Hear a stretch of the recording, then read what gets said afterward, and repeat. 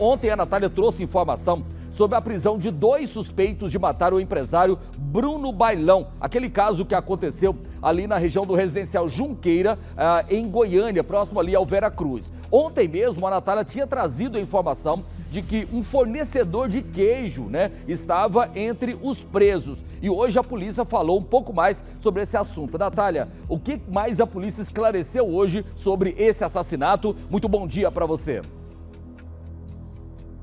Oi, Loares, bom dia para você, para quem acompanha a gente. Só reforçando que esse crime aconteceu no dia 15 de fevereiro. O empresário Bruno Bailão levou oito tiros, claro, não resistiu, morreu ali na hora. Esse crime aconteceu na saída para Trindade e a gente até mostrou ontem naquela imagem, né, do momento em que ele é alvejado, que um dos criminosos, ou seja, o mandante desse crime, estava lá no local, dentro da caminhonete, viu absolutamente tudo e depois ainda foi prestar auxílio para a família, como se estivesse preocupado, esteve em contato com a família, dizendo que estava muito triste, mas a polícia já descobriu que o Edgar, que é esse homem que é fornecedor, trabalhava como fornecedor eh, de queijos para o Bruno, foi o mandante e agora a gente traz também informações a respeito do executor. Delegado João Paulo, que fez essa investigação, ainda está fazendo essa investigação, está aqui. Delegado, quem são esses dois homens? Qual foi o papel de cada um deles e a ligação entre eles? Bom dia.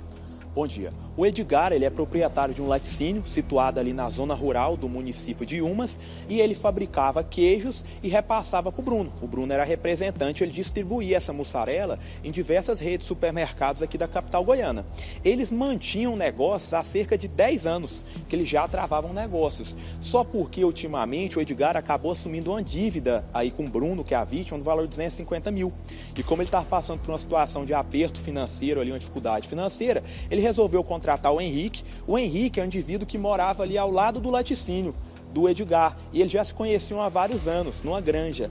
E aí ele conheceu, ele contactou o Henrique, o Henrique se dispôs a cometer esse crime. Para tanto, o Edgar pegou uma arma registrada em nome dele, porque ele é CAC, deu para o executor, que é o Henrique, e o Henrique foi lá e cometeu esse crime no dia 15 de fevereiro, e cobrando para tanto 15 mil reais, o que equivaleria a 6% do valor dessa dívida, fazendo um cálculo. Vale destacar que dia 15 foi o dia que eles conseguiram consumar esse delito, mas eles tiveram outras três tentativas. Na verdade, foram três ao total até que se consumasse. Dia 12 de fevereiro, ali no trevo de Anicuns, tanto o Henrique quanto o Edgar, eles iriam atentar contra a vida da vítima, durante uma entrega que o Bruno estava fazendo. Só que como tinha muita, muitas testemunhas, eles desistiram.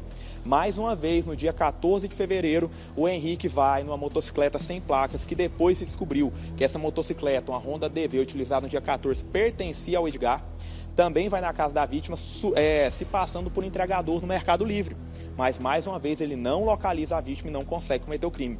No dia 15, dessa vez o Edgar, simulando a entrega de mussarelas, ele faz com que a vítima saia para retirar o seu veículo, enquanto ele entraria com a caminhonete para fazer a descarga né, desses produtos. E quando a vítima sai, o executor se aproxima ali de maneira sorrateira e calmamente, surpreende a vítima, desfere oito tiros com a arma, que foi apreendida, a arma do crime foi também apreendida, e a vítima ali, infelizmente, evolui a no local. Também chama a atenção o fato de o Edgar ter ficado no local e ele ter ali acionado a polícia. Ele acionou a polícia relatando um latrocínio. O que é latrocínio? É um roubo com resultado morte. De imediato, a equipe da Polícia Civil se desloca para o local e, analisando a filmagem, a gente verifica que o modus operandi, como ali aconteceu, era totalmente incompatível com a subtração patrimonial violenta, ou seja, com o crime de latrocínio.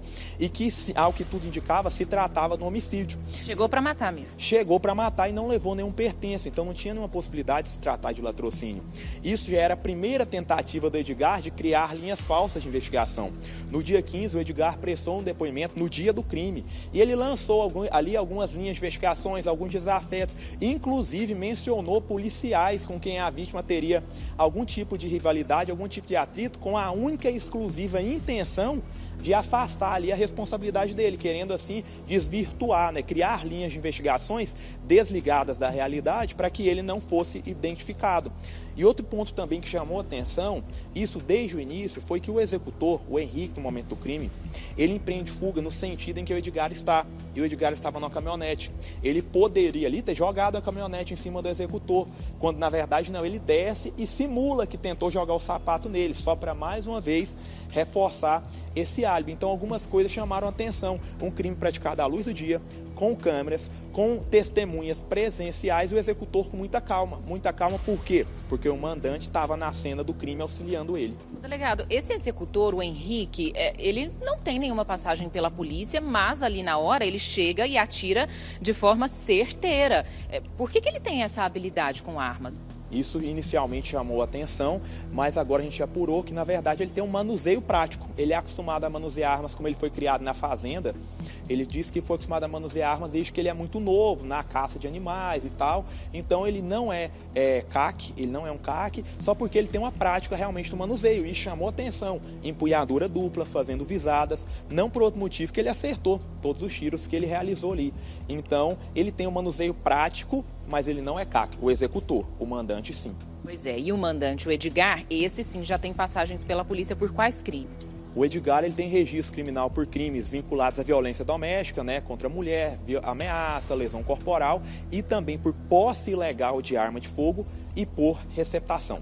Ontem a família ressaltou que essa dívida, a gente até chegou a falar que era de quase 300 mil, hoje a gente pode dizer que seria de 250 mil reais, ainda é um valor muito alto, seria porque o Bruno, a vítima, pagava adiantado por esses queijos. Isso realmente acontecia, mas não chega a ser esse valor total. O que, que foi que eh, acabou acumulando esse valor total dessa dívida?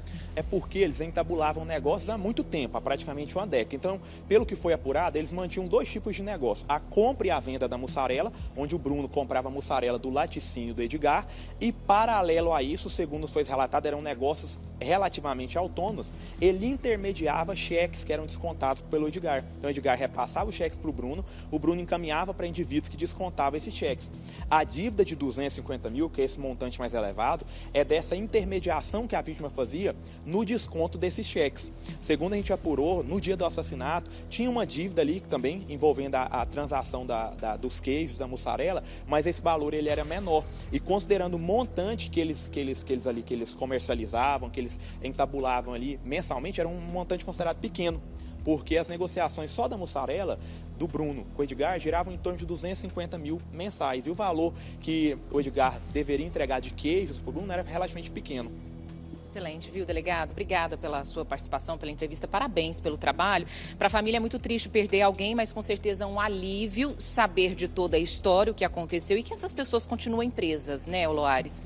A Natália, é, como o delegado também destacou, chamou atenção né, o comportamento do Edgar. É fato que, eu repito, eu já tinha. É, no dia do crime eu alertei isso aqui. Vem, gente, é muito estranho o comportamento dessa pessoa nessa caminhonete preta, né? A caminhonete sai, para do outro lado, ninguém desta caminhonete. Ou seja, você presencia alguém sendo executado e não faz nada, não corre, não desce, não faz nada ali. Agora chama atenção. Pela experiência desse rapaz, o executor, há possibilidade dele estar envolvido em outros crimes de pistolagens é, na, na, região, oh, Natália?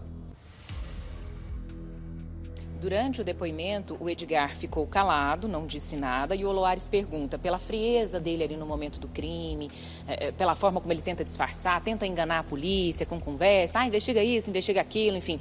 Há, há suspeita por parte da polícia de que ele esteja envolvido em, em outros crimes desse jeito, dessa forma, ali na região de Inhumas, ali no entorno?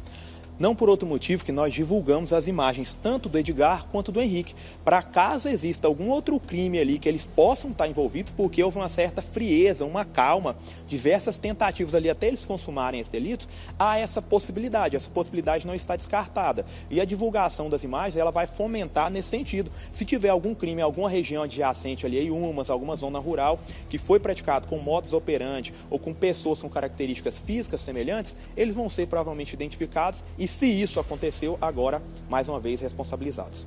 Obrigada, delegado. Eu preciso te liberar para uma outra equipe. Muito obrigada pela sua participação. E qualquer denúncia neste caso, Oloares, é bem-vinda. Lembrando que o telefone para denúncias é 197 da polícia. Obrigado, Natália. Parabéns à polícia. Então, caso aí você da região de Inhumas, você de repente tem informações aí sobre outros crimes que eles teriam envolvimento, é, ligue no 197, que é o Disque Denúncia da Polícia Civil. Ou então, né, pode me chamar lá nas redes sociais. Vai lá no Instagram, Oloares Ferreira. Lá tem um WhatsApp que você fala diretamente comigo. Pode fazer denúncia lá que eu vou repassar para as autoridades sem te comprometer, tá bom?